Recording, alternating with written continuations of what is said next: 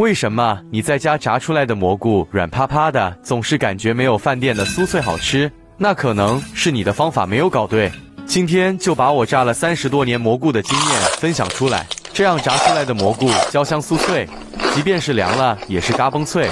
首先把清洗干净的蘑菇撕成小一点的块，然后往里面加入一勺食盐，下手抓拌均匀，腌制十分钟，杀出蘑菇里面的水分，而且可以提前给蘑菇入个底味。接下来在碗中打入一颗鸡蛋，加入一勺普通的面粉，再加入两勺的玉米淀粉。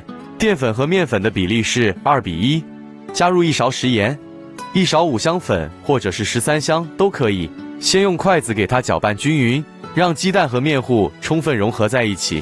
搅匀后再少量多次的加入清水，这样才能更好的掌握它的稀稠度。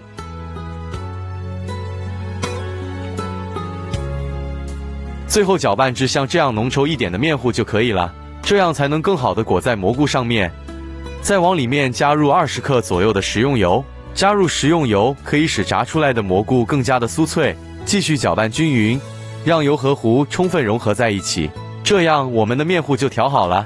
这个时候蘑菇也腌制好了，看一下腌出来了很多的水，切记千万不要用水去清洗，用力挤干它的水分，一定要把水挤干一点，这样炸出来的蘑菇才更加的酥脆，而且炸的时候不会崩。接着把挤干水分的蘑菇放到调好的面糊里面，用筷子搅拌均匀，让每一块蘑菇都能裹上一层薄薄的面糊。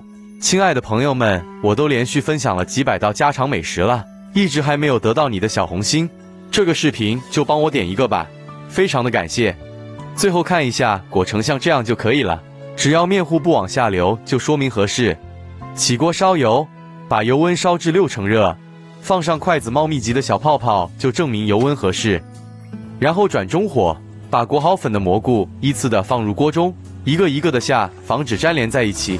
蘑菇在下锅的时候，检查一下有没有裹上面糊，要不然炸出来的蘑菇吃起来非常的油腻。全部下锅后，先炸三十秒定型，再用漏勺勤翻动一下，使其受热均匀。全程保持中火炸五分钟左右，把蘑菇里面的水分榨干。一直炸到蘑菇表皮颜色微微发黄，接着把它捞出，再进行二次复炸。接着把油温升高到七成热，下入蘑菇复炸三十秒左右，这样才能达到外焦里嫩的口感。